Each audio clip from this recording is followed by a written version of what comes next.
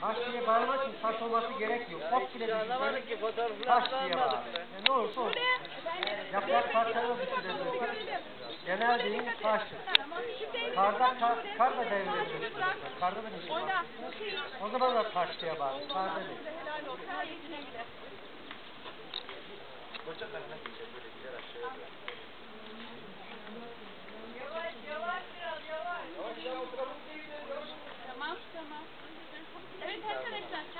şeyler yolunda.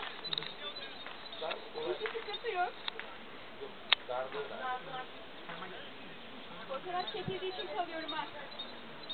Tamam mı?